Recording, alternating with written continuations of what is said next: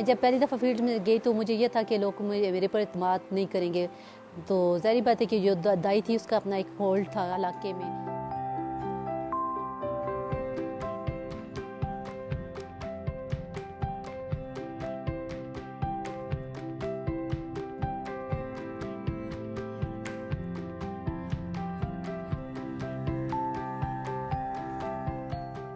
یہ کورس جب میں نے کیا تھا ٹو تھاؤزنڈ ایٹ میں شروع ہوا تھا، ہمارا فورتھ بیچ تھا ٹو تھاؤزنڈ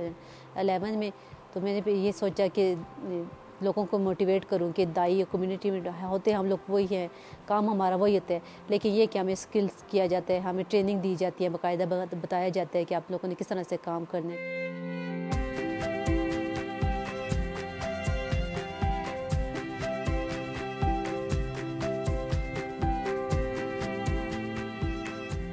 ہمارا میٹرنل ڈیتھ جو ماؤں کی شرح اموات ہے وہ بہت زیادہ ہے،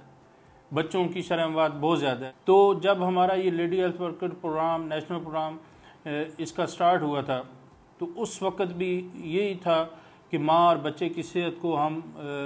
فلی اس کو فوکس کریں۔ اور ماں اور بچے کے جو ہے وہ، ان کو ریفرل کمیونٹی سے وہ ہاسپٹلز میں آئیں تاکہ وہ باقاعدہ ان کو پتہ چلے کہ ہم نے فلاں ہاسپٹل میں جا کے جو لوگ ہیں یا doctors, L H Vs nurses جو گورنمنٹ کی طرف سے باقاعدہ کوالیفائڈ لوگ ہیں، ان سے ہم نے ڈیلیوریز کروانی ہے جو حاملہ عورتیں ہوتی ہیں، ان کی کیئر وغیرہ کرنا، ان کو ڈیلیوری تک جو خدمات وغیرہ اپنی پیش کرنا، اس کے بعد جو ڈیلیوری جب ہوتی ہو جاتی ہے، اس کے بعد ان کو، ان کے ماں اور بچہ دونوں کی جو ہے کیئر وغیرہ کرنا، وہ ساری جو ہے وہ میری ڈیوٹی میں شامل ہوتا ہے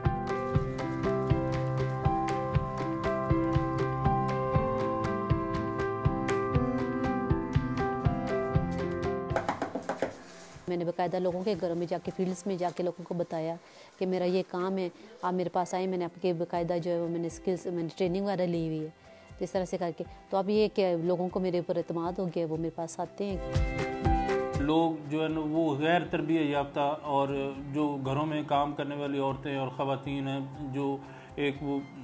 پشتوں سے وہ چلی آ رہی ہیں، تو ان سے جب ڈیلیوری کروائی جاتی ہے تو بہت ساری کمپلیکیشنز میں ڈیتھس ہو جاتی ہیں۔ تو کم از کم کمیونٹی مڈ وائف سے اگر وہ ڈیلیوری نہیں بھی کرواتے، تو ان کو کم از کم وہ ایک پراپر جگہ پہ، ایک پراپر چینل سے اس کو ریفر کر سکتے ہیں۔